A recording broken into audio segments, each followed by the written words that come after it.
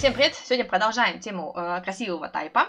В прошлом видео, если вы его не видели, обязательно посмотрите, потому что там есть такие советы, которые тоже нужно знать, и пренебрегать ими нежелательно.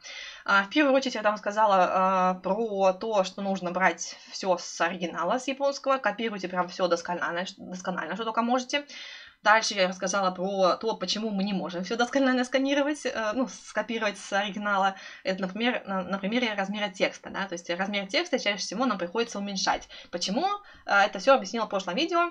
И также объяснила, почему нельзя скакать с размером текста, дабы заполнить пустое пространство. Это тоже некрасиво на самом деле, и все это почему объяснила в предыдущем видео, так что посмотрите обязательно. Э, в этом видео расскажу про три вещи. Я думала, что расскажу только про одну, а оказывается, все-таки есть, ну, три вещи, которые нужно все-таки объяснить и показать.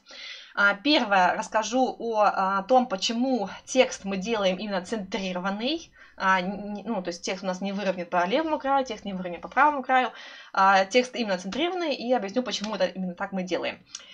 А, дальше объясню а, принципы переносов текста, то есть э, как сделать так, чтобы ваш текст э, был с переносами слов, да, чтобы он помещался нормально в это узенькое облачко, да, но при этом все принципы учитывались, чтобы и красиво было, чтобы и читать было легко, и все такое прочее.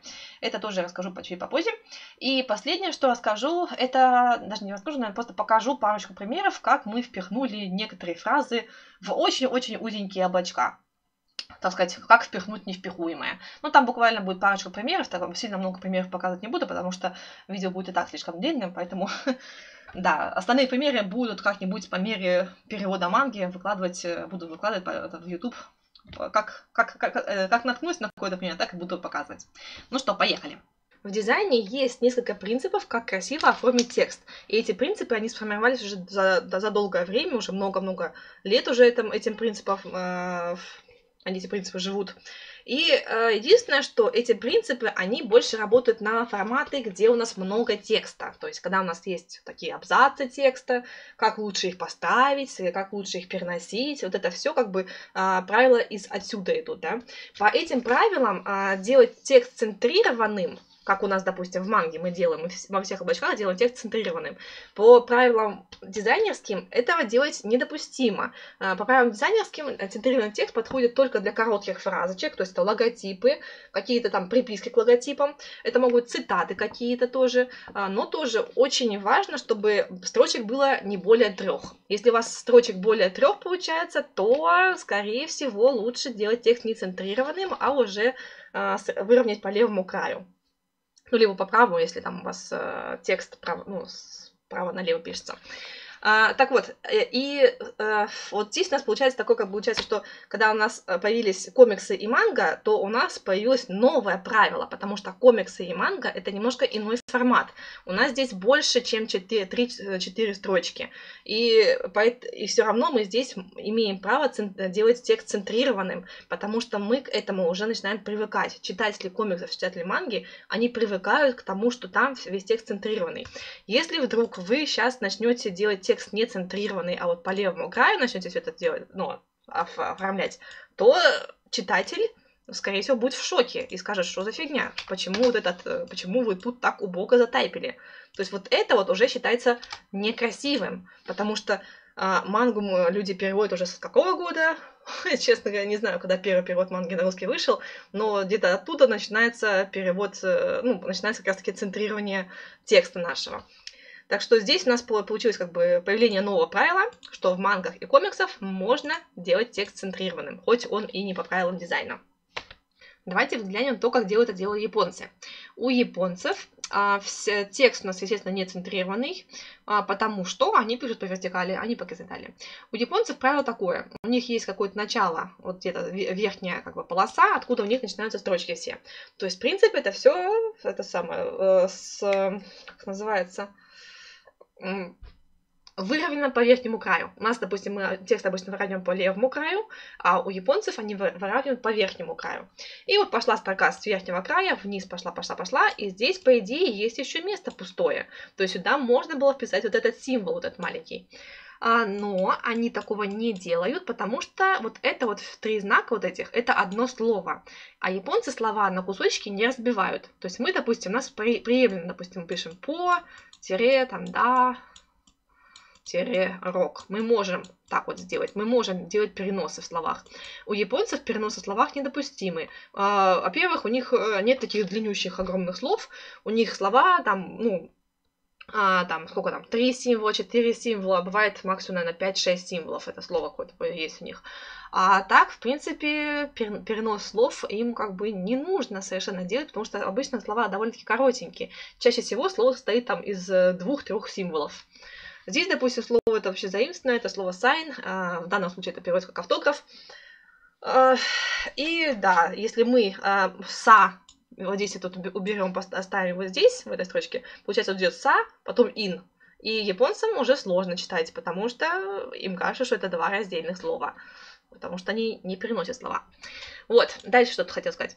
А дальше еще тут надо сказать, что э, они переносят по смыслу, да, то есть они, во-первых, переносят по словам, во-вторых, не переносят по смыслу. То есть у нас э, первая фраза, она как бы, это как бы все одна, одно предложение, но это предложение можно разбить на смысловые кусочки, да, и вот здесь, допустим, вот эта первая часть фразы идет, потом дальше можно, в принципе, вот эту часть разделить на, две, на, на, на другую часть. То есть, по идее, вот здесь есть место для трех символов, раз, два и третий символ. То есть вот эти вот три символа, как бы слово одно, его, по идее, тоже можно принести вот сюда вот все, но японцы так не делают, потому что а, вот этот вот кусок большой, он, а, его можно, сказать, а, разделить от этого кусочка, потому что по смыслу тоже разделяется. А, то есть они, в принципе, пользуются теми правилами, которые есть и в дизайнерских, вот таких вот обычных наших э, э, текстах. Вот. А дальше смотрим по центровке э, слева-справа. Слева и справа они центровку соблюдают тоже. Смотрите, допустим, здесь у нас вот такое, такое вот расстояние от края до буквы, и здесь у нас вот такое расстояние. Здесь расстояние кажется немножко поменьше. Э, это еще за счет того, что здесь у нас есть еще с, с правой стороны есть еще у нас символы для прочтения канзи. Символы для прочтения канзи, они обычно как висячая пунктуация в нашем случае, э, мы ее считаем почти что как за пустое место. А, проверять пунктуацию нужно будет сделать отдельные пару роликов. Я кое-что по ней говорила, но еще не до конца, мне кажется, рассказала, что надо. Вот, значит, вот эти символы, они считаются как пустое место, почти что как пустое место, и мы их не считаем. Поэтому э, здесь слева и справа примерно одинаковое расстояние, что отсюда, что отсюда, вот, примерно вот они стараются делать одинаковое. То есть вот здесь у нас вот такое вот расстояние, здесь, конечно, многовато получилось. Э, здесь у нас вот такое вот расстояние, и здесь у нас тоже получается, здесь коротенькое расстояние, вот как, как здесь, а вот здесь вот у нас длинное расстояние, примерно такое же, как вот тут. То есть, в принципе, баланс везде соблюдается. Баланс в картинке, в дизайне – это самое важное. А, если баланса нет, то читатель запинается об этот дисбаланс, и это мешает э, плавному прочтению, а это очень важно тоже в дизайне. Это тоже такой принцип, чтобы в дизайне было, ну, чтобы, чтобы ваш тайп выглядел хорошо, нужно соблюдать вот этот баланс, вот этот вот, да. То есть, а японцы, когда создают э, мангу, то есть они, в принципе, стараются баланс везде соблюдать. Здесь, допустим, смотрите, здесь, э, здесь, допустим, чувствуется небольшой дисбаланс на самом деле, потому что я бы вот эту фразочку поставила бы чуть-чуть вот в левую сторону сдвинула. Здесь у нас такое расстояние, здесь чуть побольше расстояние, да, потому что здесь у нас округление облачка идет. И здесь, ну, вот такое маленькое расстояние. А вот тут у нас получается э, вот такое большое расстояние, округление становится еще больше расстояние получается, а здесь у нас символы кончаются, и получается, что до текста у нас вот такое общее расстояние. То есть с этой стороны здесь кажется, что слишком много белого. Я бы вот эту фразочку вот слегка бы еще сдвинула в, это самое, в левую сторону. А, но, естественно, это самое, никто не идеален. Возможно, они просто здесь ну, сделали небольшой, небольшой недочет. То есть они пытаются делать все, все грамотно, но кое-где остаются недочеты небольшие. Так, я тут для наглядности даже сделала текст, а, что было бы, если бы мы читали тоже как, как японцы вертикально. Если бы это было, если мы читали вертикально как японцы, то мы бы оформляли бы нашу мангу вот таким вот образом. Тоже у нас была бы какая-то линия, откуда начинается текст, то есть выравниваем по, по верхней линии, и, в принципе, пошел так вниз этот самый наш текст. Все, в принципе, хорошо. Но даже если вот так будем переводить, все равно а, у нас были бы проблемы с переносами, да, то есть, э, в принципе, мы можем по-русски переносить слова, вот так вот можно было перенести это дело все, вот так вот, да, и сейчас, секундочку, может, чуть вот так вот, эм, так, ну, короче, все равно есть небольшие нюансы. Нюансы состоят в том, сейчас, погодите, а, новый слой сделаем, секундочку, новый слой и на нем будем рисовать. Нюанс состоит в том, что у нас а, не получается центровка полне, полная хорошая. То есть здесь у нас сверху, давайте а, сделаю сначала центровку по, по левому и правому краю. Так, секундочку. Ё-моё, ты двигаться будешь? Нет? Вот, схватилась, наконец-таки. То есть вот так вот мы, мы сцентрировали по правому и, и левой части, да, то есть... А, секундочку, секундочку. Нет, все-таки не совсем центрировали. Момент. Ты. Чуть-чуть сюда. Вот так, да? Вроде хорошо. Все, вот так хорошо.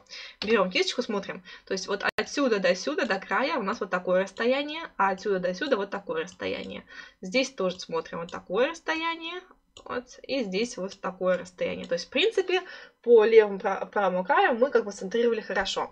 А если мы будем смотреть по верхнему и нижнему краю смотреть, особенно учитывая вот формат вот такого облачка, что нас здесь вот так вот маленькое, а здесь более длинное, да, то тут мы уже не вмещаемся в формат. Получается, у нас тоже вот тут много-много белого пустого места. Нужно будет тоже искать какие-то там, э, ну, короче, надо будет тоже заморачиваться, смотреть, как это будем это дело переносить.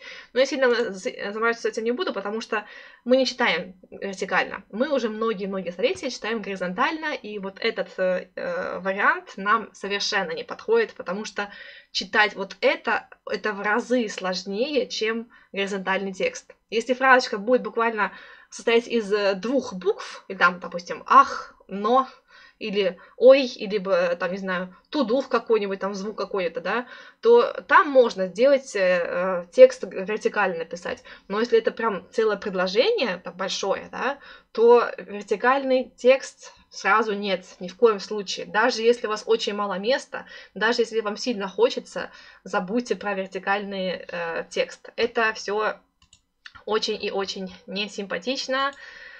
Читателю читать такое просто невыносимо. Все это not good. не делать такого. Давайте вернемся к нашему горизонтальному все-таки тексту, мы же читаем горизонтально.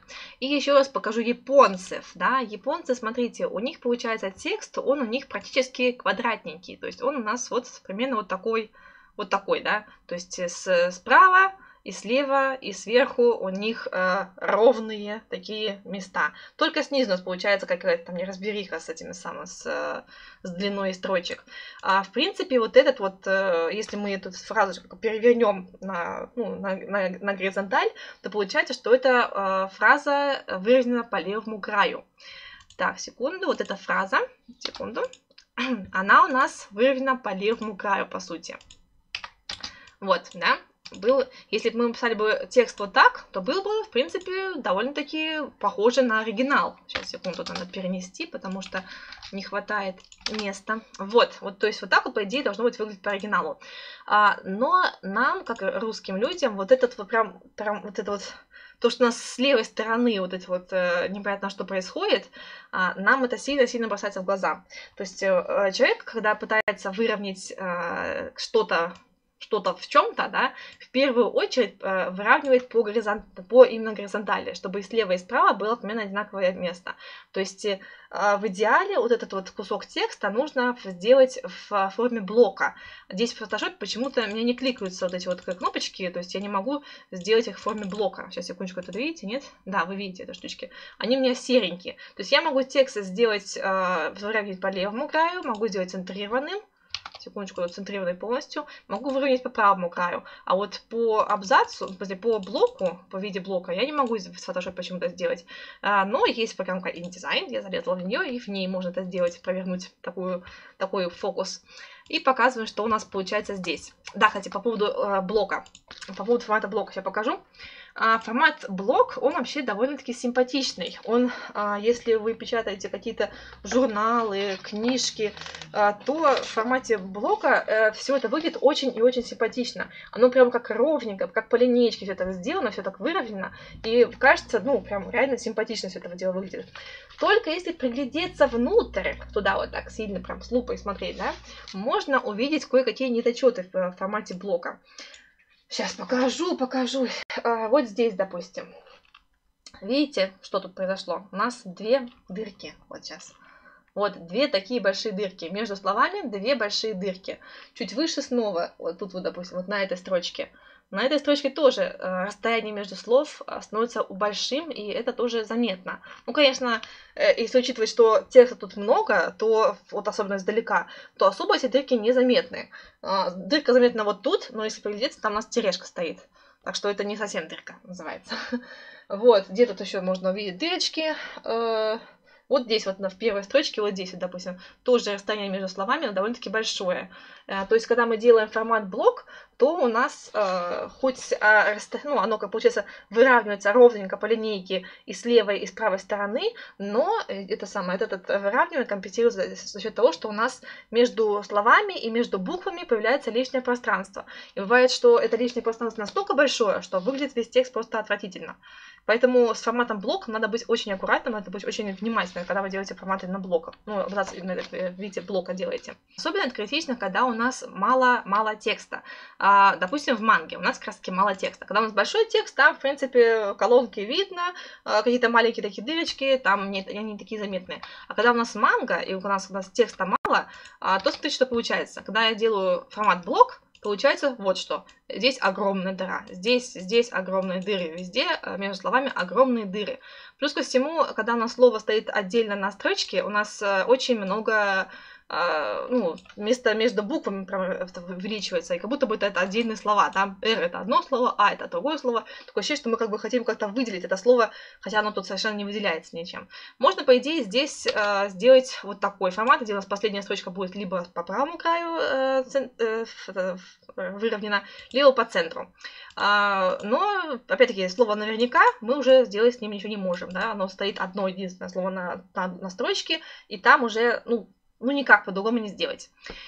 Вот, и именно в этом и заключается проблема с форматом блок. То есть, когда мы делаем формат блок, нужно учитывать, что у нас появляется куча-куча дырок. Да, слева и справа у нас ровненько, все красивенько, но в середине появляются дырки. И когда у нас текст маленький, эти дырки становятся просто отвратительные, некрасивые. Поэтому формат блок мы не используем. Мы бы хотели бы использовать формат, формат выравнивания по левому краю, а, но из-за того, что у нас получается, что это расстояние вот тут вот одно, тут у нас меняется расстояние, то нам это прям сильно глаза корежит, и именно поэтому у нас вышло так, что мы в манге используем выравнивание именно по центру. Центрирование мы делаем. И вот, в принципе, почему это как бы объясняет то, почему все привыкли э, видеть мангу с центрированным э, выравниванием, когда у нас текст выравниваем по центру. То есть получается, что вот так вот выглядит намного-намного гармоничнее, чем ежели у нас было бы выравнивание по левому краю. Фух, наверное, надеюсь, не запутала вас сильно. Говоря о центрированном тексте, надо еще также сказать, что есть некоторые исключения. А, в манге, которую мы переводим, я примеров так быстро найти не смогла, зато у меня под, под боком лежала книжка комиксов, которую мой сын сейчас читает из библиотеки, которую взял, и там прям несколько примеров прям сразу, там на каждой странице почти что были, да. Это у нас э, комикс американский, и там ча чаще такое возникает, такие штучки, чем в манге. В манге такие реально крайне редко случаи происходят. А вот американских э, комиксах чаще. Итак, смотрите, у нас здесь получается облачко, которое обрезано сверху и с левой стороны. И здесь у нас а, переводчик, он у нас а, сделал выравнивание текста по левому краю. То есть по стандарту у нас а, он делал все под, тоже по, по центру, это самое выравнивал, а вот в данном случае именно по левому краю. А, почему? Потому что здесь у нас облачко, по идее, если его продолжить рисовать, да, вот так вот, то оно довольно-таки крупное получается, это облачко, и довольно много, довольно большой кусок он обрезанный. И чтобы текст э, гармонично смотрелся на таком кусочке облачка, его лучше было сделать именно вот таким вот образом. Если вы поставите его центрированно, то у нас эм, то у нас, получается, с левой стороны были бы какие-то странные лесенки, они бы выглядели довольно-таки несимпатично. Ну, короче, ну, выглядело бы намного хуже, чем вот этот вариант. Плюс ко всему, переводчик, он также э, сохранил форму вот этого изгиба. То есть у нас облачко вот здесь вот так вот сгибается, и текст также изгибается. То есть здесь переводчик сделал все довольно очень грамотно. Вот. Единственное, что мне очень не нравится здесь, вот очень маленькое расстояние, вот здесь вот, да, и здесь тоже маленькое расстояние. А, хотелось бы, конечно, тут, тут, тут маленькое словечко по-другому немножко как-то принести, но да, тут, конечно, сложности в переносах. Вот это, я думаю, что самый оптимальный вариант, который у него был. А, здесь тоже пустое место. Кажется, что вот эту букву Г можно, ну, слог Г можно было, в принципе, пернуть сюда, но там уже тоже свои какие-то нюансы. О них тоже про, про нюансы, про принципы переносов расскажу, наверное, чуть позже. Ну, потому что здесь Рановато еще про это говорить. Следующий пример. А, следующий пример у нас, а, опять-таки, облачко обрезанное, но а, переводчик у нас ставил текст центрированный. И, честно говоря, в принципе, выглядит нормально. Я бы все-таки вот это вот место пустое, беленькое, я считаю, что тут его многовастенько. Я бы все-таки вот это вот длинное слово который состоит из трех частей, я бы его вот здесь вот разбила бы и перенесла бы на новую строчку, вот, вот в этом месте. После па, перенос, вот это пир идет сюда. И вот эта строчка придется станет немножко уже, и тогда всю фразу, всю вот эту фразочку можно было немножко сдвинуть в левую сторону. И тогда не было здесь такого, ну, много пустого белого места было бы хорошо. А, но здесь все-таки скажу про этот, про этот принцип переноса, а, потому что здесь а, и в прошлом э, в, в кадре а, переводчик, он а, придерживался принципа перенос по смыслу. То есть у нас есть а, вот это слово «шока, папир, замок». А, у нас состоит из трех частей. Шока, шоколад, папир, бумага, замок, собрание. То есть ну, коллекция, можно сказать. И вот э, слово папир – а, бумага, он решил не, отдел... не разделять на две части. Он решил перенос сделать уже после этого слова. То есть наш шокол, папир, и потом в конце замок. То есть на новой строчке у нас это замок как отдельное слово стоит. И это у нас э, перенос по смыслу. Перенос по смыслу э, хорош тем, что читателю проще понимать прочитанные строчки. Ему проще перескакивать со строчки на строчку, когда у нас есть, э, есть перенос по смыслу. То есть вместо того, чтобы сделать как-то покрасивее вот это дело, а, а, этот сам переводчик, он а, больше а, акцентировал внимание на то, чтобы читателю было удобнее читать. И это, кстати, правильно. Так, идем дальше. Примеры. Здесь э, немножко размыто получилось сфоткать, ну ладно, нормально. А здесь у нас э, такой комбинированный вариант мы видим, то есть для, с, с одной стороны четыре строчки у нас э, выровнены по, э, левым, по левому краю, а дальше две строчки, последние две, они у нас ну, типа как выровнены по центру, да, на самом деле не совсем центр, но все равно, то есть автор, э, переводчик, он как бы здесь сам поставил какие-то пробелы свои, то есть он немножко сдвинул эти э, последние две строчки в правую часть, чтобы было, была какая-то как бы иллюзия центрирования. Здесь он тоже пытается повторить форму облачка, то есть у нас здесь облачко, оно начинает здесь закругляться, здесь у него не хватает места для текста, и он начинает э, исхитряться, э, чтобы все поместилось в него. И, в принципе, это у него довольно неплохо получается. Здесь, конечно, пустовато место, но что поделать, у нас э, здесь э, слово тут у нас четыре согласные идут вместе, да, то есть э, если здесь перенести, а, ну, ставить следующий слог, то у нас будет вот, вот до сюда пройти, вот до этой буквы. То есть раз, два, три, четыре, пять, шесть букв нужно еще впихнуть, прежде чем перенести снова это слово возможно будет. Немцам, конечно, им, конечно, очень сложно переносить слова такие длиннющие, но это их проблемы. У нас в русском языке таких длиннющих, сложных э, слов, конечно же, не так много. так, здесь еще какие примеры есть. Здесь у нас тоже идет обрезание э, облачка, э, и здесь также автор, опять автор, переводчик. Переводчик он поставил здесь не совсем по центру, потому что если это будет центр, то нужно верхнюю строчку сдвинуть еще немножечко вправо сторону. Да? А здесь он также пытался найти какой-то такой баланс, потому что здесь у нас обрезанный, обрезанная облачко. По идее, его надо немножко в, в как сказать, весомость э, фразы перенести, опять-таки, в левую часть. Ну и, в принципе, переводчик с этим справился. Я бы единственное, что, наверное, повыше немножко поставила бы эту фразочку, потому что как-то многовато места пустого сверху, кажется, из-за вот этого кружочка. Ну, это, в принципе, ладно. Вот здесь, допустим, еще один пример. А, то есть здесь у нас тоже обрезано облачко, но оно центрировано и выглядит, в принципе, вполне хорошо. Если у вас тоже такая ситуация, что у вас есть обрезанное облачко, и вы а, текст оставляете центрированный, и он выглядит хорошо, то оставляйте центрированный текст. Об, этот, э, выравниваем по левому или по правому краю только в тех случаях, когда у нас э, выглядит это несимпатично. Поняли? То есть здесь, допустим, у нас облачко, оно хоть и обрезано, но там буквально чуть-чуть обрезано. И поэтому из-за того, что там обрезано совсем чуть-чуть, то мы, в принципе, можем позволить себе поставить текст центрированным, и это будет выглядеть симпатично. Здесь, кстати говоря, он забыл, э, этот переводчик, он не соблюдает висячую пунктуацию вот в этом месте. Ну ладно. так, дальше что? Здесь, опять-таки, э, пытается найти какую-то свою собственную середину, все зависит от того, от формы, от, этого, от, от формы облачка. Когда мы переводим на, с японского на русский, мы тоже такое часто таки, с такими проблемами сталкиваемся. Допустим, у нас какое-то там двойное облачко, либо облачко, опять-таки, какой-то странной какой-то формы. И, в принципе, э, мы можем так же, как и этот переводчик вот здесь, мы можем повторять э, текстом форму облачка. Нам не обязательно прям идеально все центровать. Можно также вот, вот так вот сделать. То есть первая строчка вот так, вторая строчка сдвинута в левую, в левую сторону сильно, и третья строчка тоже, также сдвинута в левую сторону. Но при этом соединяя, э, сохраняется эффект центрирования какого-то. Здесь э, то же самое, что и предыдущий раз, то есть две первые строчки у нас э, выровнены по левому краю, и последняя строчка пытаясь найти какой-то центр. Здесь примерно то же самое, да? Э, следующий пример какой тут у нас есть. А, вот это вот. А еще у нас э, возможно поставить э, текст, э, выравнивать по левому краю, это когда у нас идут слова автора. То есть не слова персонажа, не, не, этот, не реплика персонажа, а именно какие-то слова автора. То есть повествование, а, место, где находятся персонажи, еще какие-то небольшие отсылочки, допустим, через, там, спустя 5 лет или спустя там 3 часа, да. Вот это все, оно чаще всего рисуется в квадратных этих эм, фреймах, и в таких моментах можно, в принципе, сделать текст э, по правому, выровнять по левому либо правому краю, то зависит от того, в каком месте у нас расположено. Здесь, допустим, а, текст этот, э, рамка, она находится э, с левой стороны, значит, и текст мы выравниваем по левой стороне. Если бы этот находился бы с правой стороны, то мы бы текст выравнивали, естественно, по правой стороне.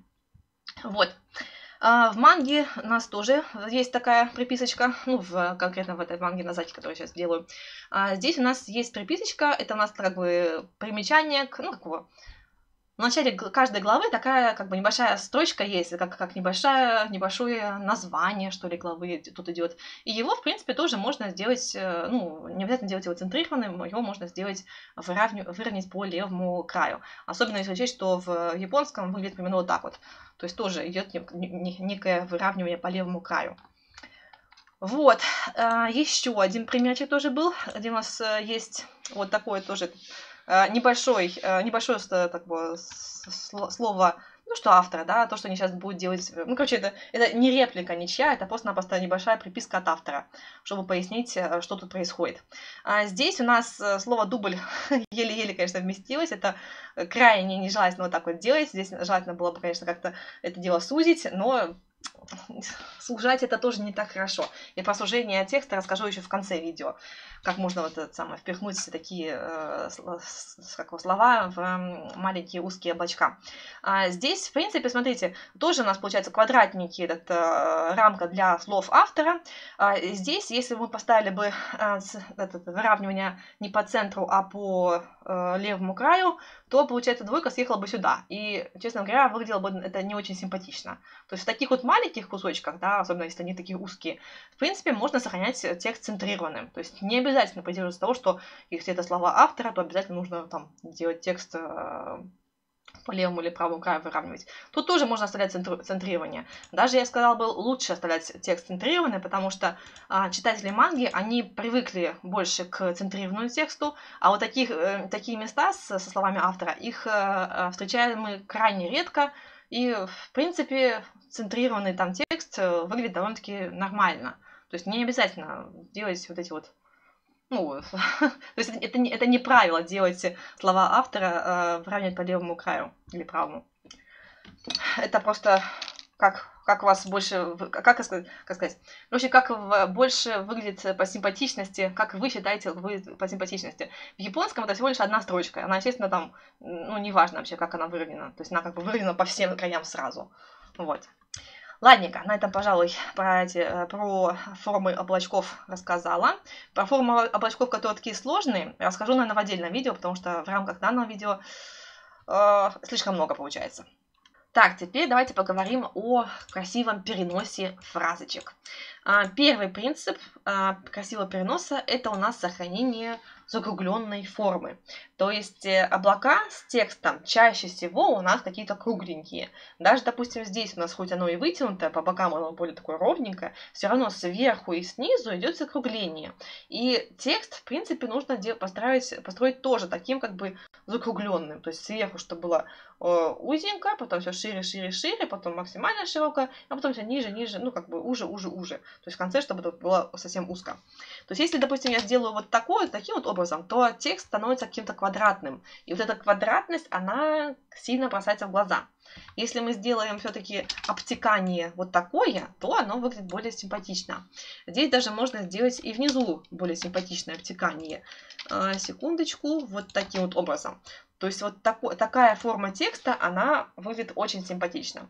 Но если мы прям совсем вот так вот сделаем, то у нас в данном случае появляется другая проблема. У нас появляется много переносов. То есть следующий принцип красивого э, оформления текста – делать как можно меньше переносов. Моя учительница, допустим, по, этому, по типографике, она говорила, что если мы делаем текст центрированным, то вообще нельзя э, делать переносы. Ну, это, естественно, относилось не к манге, не к комиксам, а больше к каким-то печатным изданиям, есть к журналам, книжкам, а, брошюркам и так далее. В, в, в этих местах переносы вообще как бы неуместны никаким образом. Нужно переносить слова, но не слоги. Но в манге, конечно же, у нас за отсутствием ну, места мы должны э, ну, иногда делать все-таки эти переносы оставлять. Тем более, особенно если будут очень узкие эти облачка, там вообще без переноса просто не справиться. Фух, так вот, значит, э, здесь, в принципе, место у нас есть, чтобы эти переносы избежать. То есть, в принципе, вот этот предыдущий мой вариант, который был, сейчас, секундочку, вот этот вот, в принципе, он тоже хорош. Вот здесь у нас ни одного переноса в, в тексте нет, и это как бы считается хорошо. И э, форма облачка при этом как бы все равно такая закругленная. Да, внизу она чуть пошире, но все равно вниз, внизу идет какое-то за, ну, сужение небольшое, но сужение все-таки идет. И вот это, в принципе, нормально. Но в таком варианте у нас ломается еще один принцип. Следующий принцип это у нас а, а, отступы от края. Отступ от края в данном случае, он вот такой масюсенький. Давайте покажу, наверное, на новом слое нарисуем. Так, где у нас кисточка? Вот, от он вот такой масюсенький. Вот такой масюсенький он. И здесь тоже вот такой масюсенький получается. Здесь, конечно, хороший сверху и снизу, а вот здесь вот такой масенький-масенький.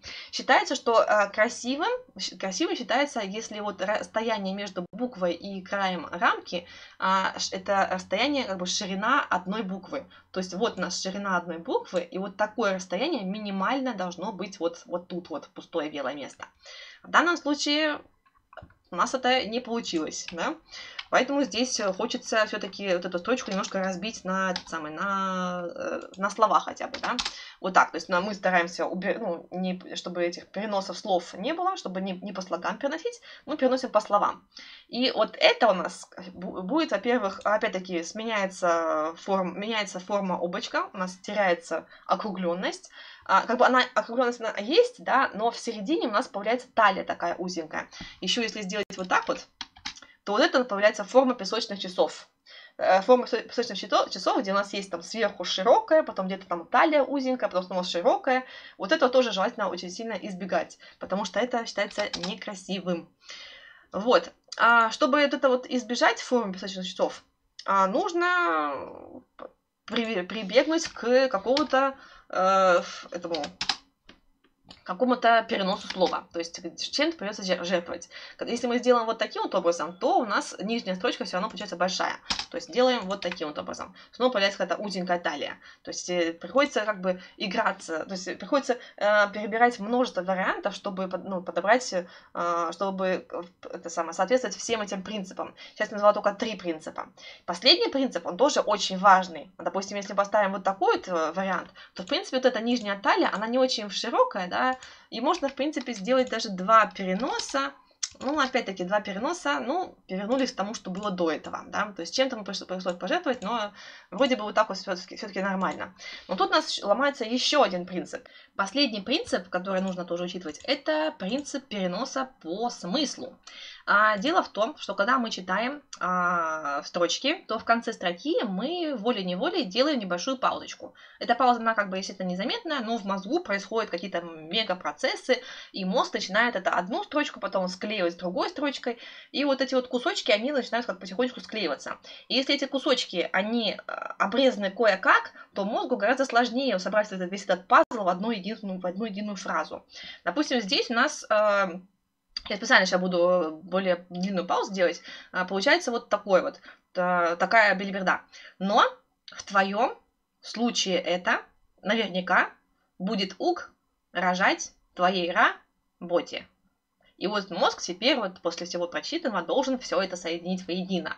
И, честно говоря, там то, что у нас там кое-как все это нарезано, это читается гораздо сложнее. Особенно учитывая, э, если у нас будет э, читатель такой-нибудь не, не очень сообразительный, да, то есть у нас э, население, ну, большая часть населения, она у нас как бы IQ не такое высокое, да, то есть не все люди способны прям моментально все это воспринимать хорошо. Поэтому надо учесть и такие моменты, чтобы люди читали без запиночки, чтобы не было никаких заминок у них, э, чтобы все как бы было плавно, хорошо, да. То есть я уже несколько раз говорила, что нужно а, наша задача переводчиков обеспечить хорошую читабельность текста. И в данном случае вот такие вот переносы – это нехорошие. Э, переносы, это нехорошая читабельность. Чтобы сделать хорошую читабельность, нужно сделать перенос по смыслу. В данном случае перенос по смыслу будет выглядеть вот таким вот образом. Сейчас. Так, этот самый убираем здесь пунктуацию, а здесь ее вставляем. А, вот таким вот образом. Но в твоем случае, вот эта строчка у нас, конечно, а, широкенькая, она не помещается. В принципе, но можно сделать отдельно. Тоже это по смыслу более-менее подходит. Но в твоем случае это наверняка будет угрожать твоей работе. То есть фразочки разбиты по смыслу, они, можно сказать, кусочки, они более-менее замкнутым смысле, смы, э, со, замкнутым каким-то смыслом своим, и их соединить, склеить друг с другом гораздо-гораздо проще. И вот именно это нам нужно учитывать, когда мы переносим текст а, по словам. Вот. А, что тут еще можно добавить? Э, здесь, когда мы вот это вот сделали в таком вот хорошем, э, перенос с хорошим смыслом, да, перенос по смыслу, то у нас э, появляются проблемы с тем, что у нас нарушаются другие принципы. Да? Во-первых, у нас э, опять-таки теряется форма облачка, верхняя точка очень коротенькая, остальные квадраты такие, да, то есть нет закругленности у, у облачка, в смысле у текстового э, облачка, у текста в целом, да, у него нету закругленности никакой. Далее у нас есть маленькие расстояния от текста до края, до края облака, и не только в одной строчке, а уже даже в двух строчках. А так как это уже квадрат становится, то вот это тоже при, при, приравнивается к этим двум строчкам. То есть э, вид с виду это выглядит не очень симпатично. Если бы форма облачка была бы немножко иначе, было бы просто идеально. Может быть, здесь э, можно было бы ставить размер поменьше, да, но я уже говорила, что в прошлом, э, в прошлом видео я уже говорила, что размер поменьше мы делаем только в случаях, если у нас идет, если у нас не помещается совсем никак текст, а, либо же у нас идет понижение э, шепота, то есть понижение голоса переходит на шепот какой-нибудь. Вот, так что здесь мы оставляем размер 22, и теперь перед тайпером остается э, встает такая как бы загвоздка, такая проблема. Теперь тайпер должен решить, какими принципами, вот у нас четыре принципа, да, э, какими из этих принципов он будет пренебрегать. Вот. В данном случае я сделала вот такую, такой вот вариант. То есть здесь я пренебрегла э, частично смысловым переносом, то есть внизу смысловой перенос остается, а вот здесь вот в серединке смысловой э, перенос, он как бы теряется, но это только в одном маленьком месте. То есть вот это вот это, словечко это, его в идеале поставить сюда. Но если я делаю так, то меняется формочка облачка очень сильно. Поэтому я ее оставляю вот здесь, чтобы формочка облака, оно как бы оставалось более-менее нормальным. Форма облака тоже чуть-чуть страдает. То есть у нас сверху оно как бы более-менее скругленное, а снизу у него немножко широковато. Но в принципе тоже сойдет, да. И самое сильное, что тут э, э принцип, который тут э, э, ущемляется, это вот расстояние от края до начала текста. Но, но если опять-таки посмотреть, то кое-как здесь все-таки можно это дело оставить. Если бы это был размер побольше, скажем, 24, 24, то вот это уже явно критично. Вот такого допускать же явно нельзя. Здесь пришлось бы делать где-то перенос. Так, 22 у нас размер должен быть. Ну, в общем, вы как тайпер должны теперь решить, что будете, чем будете жертвовать. А, лучше всего жертвовать а, переносами. То есть переносы по смыслу стараемся оставлять, а переносы э, слов э, добавляются. Формочка, форма облачка тоже как бы желательно оставлять ее кругленькой, но э, не сильно на, на, на это зацикливайтесь, потому что вот я показала уже пример, да, если у нас будет вот так вот угрожать работе. Если мы здесь зациклимся, о, блин, Ой, будем угрожать, будет угрожать, да. Если мы зациклимся только на форме облачка, то читатели будут неблагодарны за это дело. Поэтому вот старайтесь не сильно зацикливаться на форме облачка. Но и зацикливаться тоже. То есть, как бы найти какую-то середину золотую. В общем, вот, всем удачи в этом деле. Совет э, желаю вам. А, что тут еще можно добавить? А, еще надо добавить по поводу смыслового переноса. А, есть такие вещи, как длинные слова. Допустим, моя учительница в Германии, которая, да, она вообще как бы у немцев есть много этих а, длиннющих слов. И моя учительница, она очень сильно как сказать, не то, что жаловалась, да, прям плакалась, можно сказать, по этому поводу, потому что она говорит, что э, если мы текст центрируем, то переносов никаких допускать вообще не, не, не, нельзя. Но при этом в немецком языке есть очень много длиннющих слов. Это слова по типу, как в русском языке, там, одноклассники, единомышленники, э, ежедневник, и все в таком духе, да, то есть как бы совмещенные слова. Э, немцы, они почти как японцы, Слова могут совмещать как угодно, ну, не то, что как угодно, довольно-таки много можно слов совмещать. Допустим, смотрите, в японском у нас есть э, слова, которые состоят из нескольких иероглифов. То есть один иероглиф это как одно слово уже. Когда мы добавляем второй иероглиф, то пам, у нас появляется новое третье слово. Это как этот мужик с ананасовой ручкой, да, там у нас есть ананас, у нас есть ручка, потом бамс, у нас получилась ананасовая ручка, что-то в том духе, да. А, и также с япон... ну, в японском и китайском языке, и также и в немецком языке происходит. То есть там можно тоже взять в немецком языке одно слово, другое слово, соединяем, получается третье слово. Потом можно еще четвертое, третье слово добавить, четвертое слово добавить, и даже пятое можно слово добавить. А, я, допустим, нашла одно слово длиннющее, а, называется оно Arbeitsunfallversicherungsgesetz, состоит оно из четырех частей, а переводится на русский русский э, как, как целая фраза из шести слов целых, да. То есть здесь у нас э, раз кусочек слова, э, Versicherung, вот здесь вот, Unfall, погодите, Unfall сначала, потом Versicherung, s как соединительное согласное, и Gesetz. вот, и вот это вот слово такое длиннющее, и немцам как-то нужно его тоже переносить. А, у нас, к счастью, таких вот сильных проблем нету, но у нас тоже есть э, слова длинненькие. Например, слово «одноклассница». Одноклассница, одноклассник, одноклассницы, а, одноклассникам и так далее. Все в таком духе. Э, я, честно говоря, очень не люблю вот это вот слово, потому что оно переносится, кажется, что не по правилам. Оно как раз-таки переносится по смыслу. То есть по правилам русского языка у нас есть правило, что если у нас есть две согласные подряд, то можно их перенести с одну на другую. Допустим, если слово класс, если у вас э, есть слово в классе, да, вы можете написать э, в, в класс-се. Вы можете так перенести. Но в слове одноклассники вы такого сделать не, не сможете уже. Далее вот это вот, допустим, правило, для меня это было в новинку. Я всегда думала, что а, вот этот правильный вариант, а остальные неправильные. Я всегда так считала. Оказывается, и то, и то тоже правильное. Вот. И получается, что вот это слово одноклассники э, переносить, ну, по идее, можно к перенести вот сюда. То есть от, ног, лас, сни, ци. Можно, по идее, было бы так перенести по правилам русского языка. Но нифига.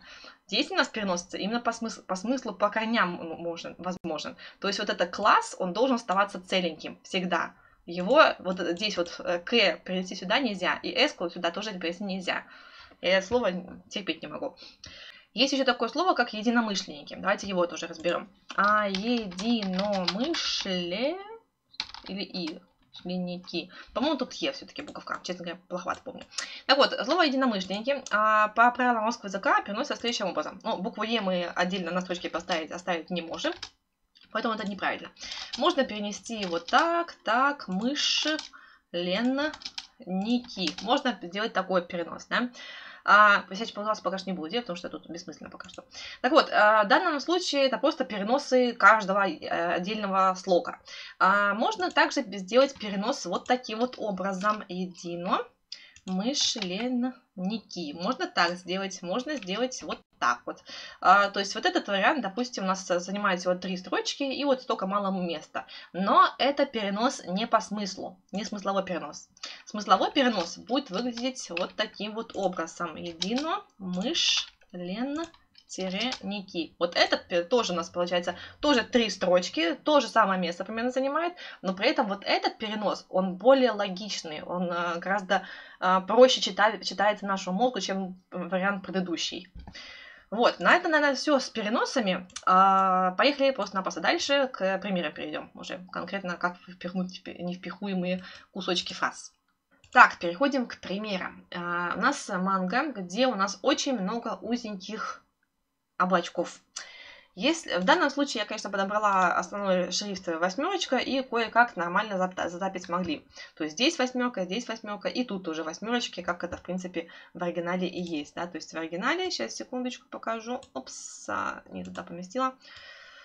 Так, вот у нас оригинал, то есть в оригинале размеры вот этого и этого, они примерно одинаковые. И в, этом, в русском переводе у нас здесь сохранены размеры одинаковые примерно. А, не примерно, а точно одинаковые. Вот, э, и что у нас тут получается? Если бы я здесь для основного шрифта взяла бы размер девяточку, 9 пунктиков, то, в принципе, это можно еще было как-то поместить. Тут немножко по-другому сделать переносы, и нормально все тут поместилось. Здесь то же самое. Можете по-другому перенос сделать, и было бы нормально. А вот в этих местах, если мы здесь тоже сделаем девятку, вот это вот раз, два, три, да, а, тоже давайте 9 пунктиков сделаем, то тут уже настолько критично, что а, буквы, они, хотя лишняя кстати, пунктуация, они уже прям в край становятся, то есть они уже прям впритык а, к этому, к краю облачка. На край облачка залезают. Так что девятка здесь у нас уже как-то недопустимо.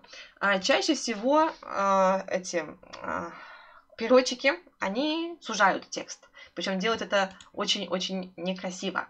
Во-первых, вообще сужение текста, искажение текста шрифта, он, оно вообще выглядит некрасивым, потому что а, есть такая штука, как а, привычность чтения. То есть, если человек видит буковку, да, и он ее читает, э, ну, в шрифте, да, в это самое, в один и тот же шрифт везде, то если вдруг он увидит, что шрифт исказился, то это сразу бросается в глаза, это опять-таки запинка при чтении.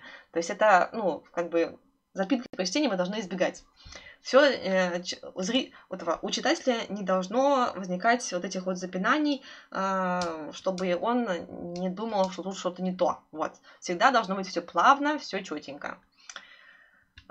Здесь у нас что? Здесь, если мы сделаем сужение, а, чаще всего сужение делают вот таким образом. Берут, зажимают Ctrl, и вот так вот, опа-на, сузили, поставили посерединке.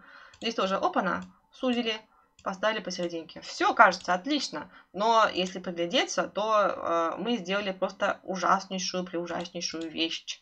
Потому что сужение произошло даже непрофессионально. То есть это будет уже двойная запинка. То есть мало того, что автор, э, автор читатель читает этот текст, у него э, здесь текст шел такой, потом бац, текст э, с размером шрифта сузился. Потом бац, он еще раз сузился. И у читателя возникает уже две запинки подряд. То есть он два раза это самое, увидел разные виды шрифта. Стараемся такого избегать. Если уж сужаете, то делайте это пропорционально. Чтобы сделать сужение пропорциональным, пропорциональным, то, смотрите, э, нужно вот здесь, вот в этом значении менять ширину. Выбираем нужную фразочку, ставим ширину, скажем, 80%. Раз. Берем другую фразочку, и здесь тоже ставим 80%. И в следующих местах, где мы сужаем, стараемся соблюдать вот эти 80%. Ну, там 90, там 75, 70, в зависимости от того, как, насколько узкое у вас облачко э, будет, будет в манге. То есть, если мы сужаем, то стараемся сужать все э, необходимые тексты на одно и то же значение, чтобы не было, опять-таки, вот этих вот скачков сужением. А, но опять-таки, сужение это все-таки такая вещь, которую нужно пробегать в самую последнюю очередь. В первую очередь попробуйте уменьшить текст хотя бы на один пунктик.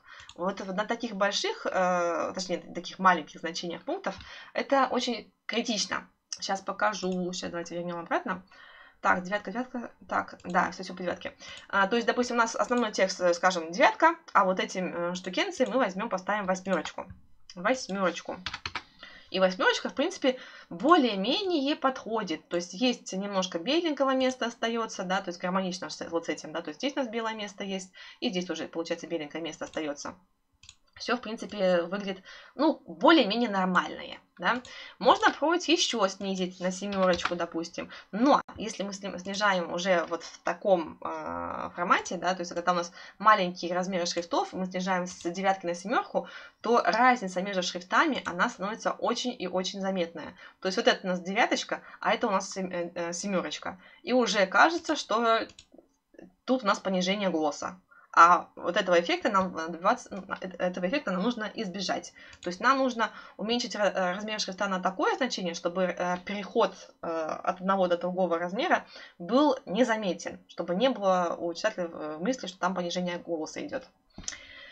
Поэтому здесь выбираем восьмерочку именно. Ну, Ой, не в том месте написала восьмерочку.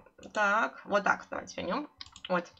А, тут у нас дальше что? Ну, в принципе, в данной конкретно манге мы, я все-таки решила, что основной текст будет не девятка, а везде восьмерка, так что тут у нас все как бы хорошо в данной, на данной страничке.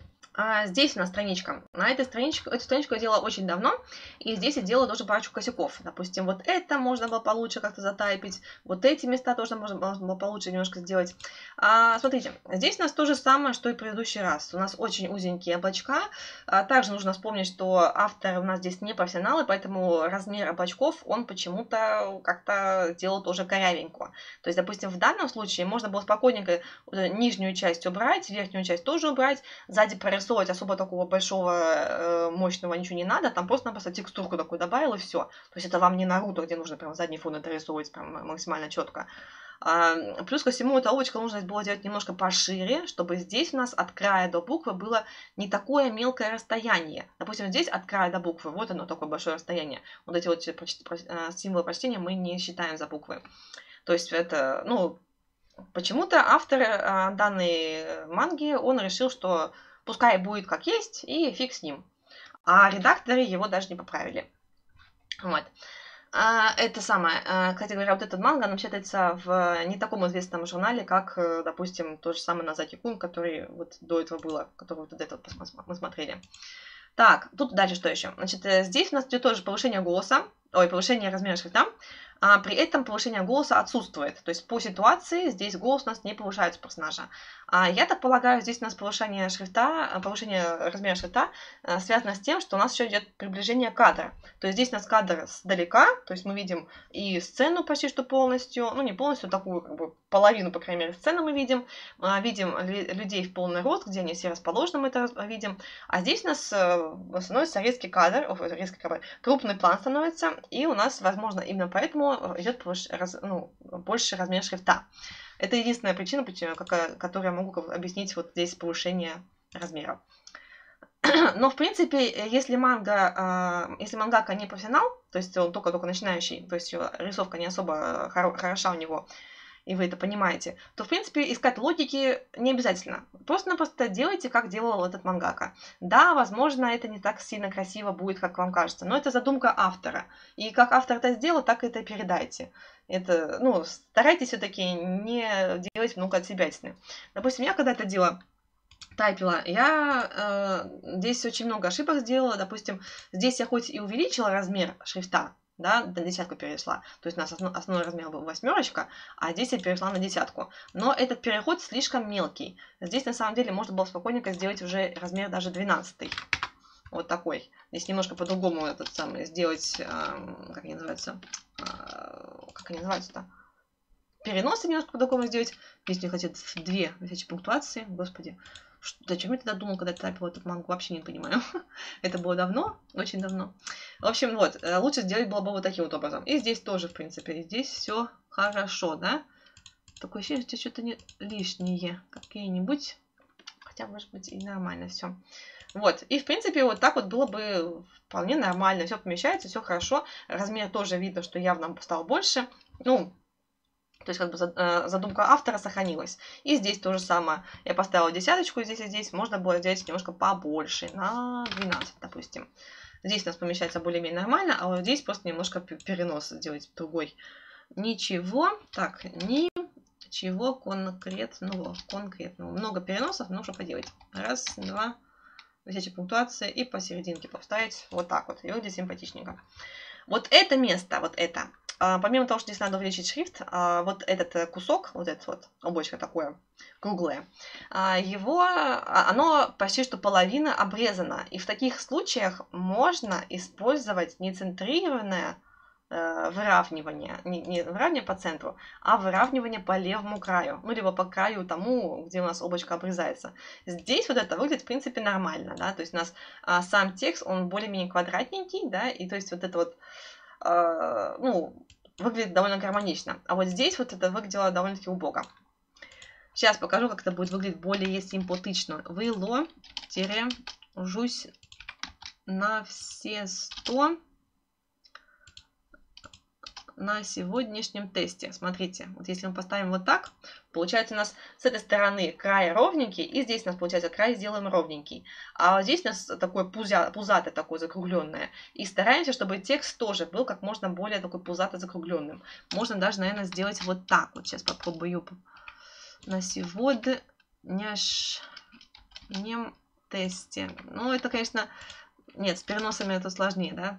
То есть можно было бы сделать вот так вот, он более закругленный получился бы. Но из-за того, что мы делаем переносы э, ну, бес, бессмысленные, в смысле, не, не по смыслу, то лучше все-таки сделать вариант предыдущий. Вот этот вот, да? Нет, не этот. Я его сбросила, что ли? Эх, ну ладно. То есть у нас было, сейчас покажу. Вот так. На все... Ой, все то там, не там нажимаю. Сегодня, тире, няш, нем и тесте на новой строчке. Вот так вот. То есть это, это вот более симпатичный вариант э, тайпа здесь, в данном случае. Да, и размер нужно делать побольше 12. 12. И вот сюда вот так вот, тик. Вот так вот. Хотя здесь, наверное, все-таки 12 многовастенько. Давайте сделаем 11. 11. И вот так вот мы это дело поместили. Здесь тоже нужно тогда 11 делаем потому что эти фразочки стоят рядышком. Допустим, вот эта фразочка, она стоит чуть подальше, чем вот этот, и э, уже не так, э, ну, она как бы она находится чуть дальше, поэтому э, ее можно оставить э, 12, а эти сделать 11. А эти фразочки, они стоят оба рядышком, поэтому стараемся э, фразочки, которые стоят рядышком, которые, по идее, должны быть одного размера, но из-за того, что нас не вмещается, мы делаем размер меньше, мы э, делаем их обе 11 размера, чтобы рядом друг с другом они казались одинаковыми. Ну, они, в принципе, есть одинаковые. Вот. Это, в принципе, наверное, и все, да, что я хотела показать. Сохраним этот вариант. И последняя фишка, которую можно использовать, чтобы впихнуть невпихуемое, это задать э, корректный э, э, размер стандарт, стандартного шрифта. Про стандартные шрифты я говорила уже в прошлом видео, то есть там нужно э, голос, который у нас ровный, спокойный, там нужно определить размер шрифта, необходимый нам, и его соблюдать как можно больше везде. Да? То есть везде, где у нас есть ровный, спокойный голос, мы соблюдаем размер нашего стандартного шрифта. Допустим, в этой манге, в принципе, в принципе, можно было бы стандартный шрифт сделать размер девяточку. Я уже говорила чуть пораньше, да? И вот это тоже, в принципе, можно в девяточку поместить. Но если я сделаю так, то хоть тут оно и хорошо выглядит, смотрится, да, то э, будет в дальнейшем, и здесь тоже, очень много мест, где не приходится играть с размерами шрифта. А играть с размерами шрифта, делать их больше, меньше, еще меньше, сужать и так далее, нужно как можно реже, только в крайних-крайних случаях. В этой манге таких случаев уж слишком много, именно поэтому э, пришла я к тому выводу, что здесь нужно сделать стандартный размер шрифта не девятку, а именно восьмерочку. Вот, и вот этого слова, секундочку, конечно, тоже должна быть восьмерочка. Вот. И в таком случае у нас получается, что здесь у нас этот ровный, спокойный голос, здесь тоже спокойный, ровный голос, и они одинаковые, что тут восьмерка, что тут восьмерка. И как бы скакать сильно тут не нужно. Если вы же все-таки вам приходится скакать со, шрифт, со шрифтами, с размером шрифта, то э, знаете, что скакать можно недалеко. Вот если совсем прям не, не помещается, да, это самое, можете вот буквально чуть-чуть изменить. Кстати говоря, можете поставить не 7 пунктиков, а 7,5 пунктика. Да? Можно сделать 7,57 пунктиков, то есть там дробные числа тут тоже возможны. Э, главное запомнить эту цифру. Если у вас, допустим, в этом месте вы уменьшили до размера 7,5 пунктов, и в другом месте вы снова наткнулись, э, где, наткнулись на такое место, то есть вы дальше переводите мангу, наткаетесь снова на такое место, где вам нужно уменьшить размер, то вы в первую очередь уменьшаете именно на это значение, 7,5. То есть э, старайтесь вот эти циферки, на, на которые вы уменьшаете, оставить их константными, чтобы они были везде, ну, почти что, ну, как можно больше, они были одинаковые везде, да? Вот, это если вы уменьшаете размер э, шрифта. То есть вот так вот уменьшать размер шрифта. То есть вот здесь, допустим, поставим вот такой, здесь поставим вот такой. Вот так вот делать не надо. Вот это вот. Это вот нехорошо, потому что у нас здесь получается размер 8,45, здесь получается размер э, 10 и 11, и получается у нас здесь чуть больше, здесь чуть, чуть ниже, чуть меньше этот размер шрифта, и это все как бы э, читателю, то есть это, это будет заметно, и это нехорошо, когда вот так вот все шрифты вот скачут. Про скачивающие шрифты я тоже говорила в предыдущем видео более подробненько, там посмотрите все. Так что вот это вот нас мы не делаем. Мы, если меняем э, размер шрифта, то меняем на какую-то константу. Вот тут вот ставим. Вот здесь вот меняем значение, чтобы было все четенько, все четенько, ровненько. Если сужаем шрифт, то тоже э, вот в этом месте сужаем, а не через э, трансформирование текста. Вот так вот мы делаем. Здесь не, не, не так, а вот так делаем все. Ну и, в принципе, наверное, уже про это уже сказала, про то сказала. Наверное, на этом хватит, да. То есть я здесь провела не очень много примеров, в принципе, но я думаю, на, для сегодняшнего видео это, это будет достаточно. А, Еще больше примеров будет в дальнейшем, то есть я как наткнусь на какой-то пример хороший, да, или наоборот, он будет не хороший пример, но зато наглядный пример будет. А, я его обязательно засниму и буду выкладывать видяшки на YouTube дальше. А на этом пока что все. А, всем спасибо за внимание. Пожалуйста, посмотрите это самое. Если вы не все советы запомнили, то вы это самое, пересмотрите видяшку еще разок, выпишите их как у себя на листочек, прям как золотые правила э, красивого тайпа, э, и старайтесь их соблюдать. Конечно, все соблюдать, э, соблюсти, соблюсти, соблюдать, вам соблюсти, о, блин, как-то по-русски это будет. Ну, короче, прям всех правил придерживаться вы, наверное, не сможете, но старайтесь как можно больше правил использовать в своем тайпе. Всем удачи, всем красивого тайпа и до скорых встреч!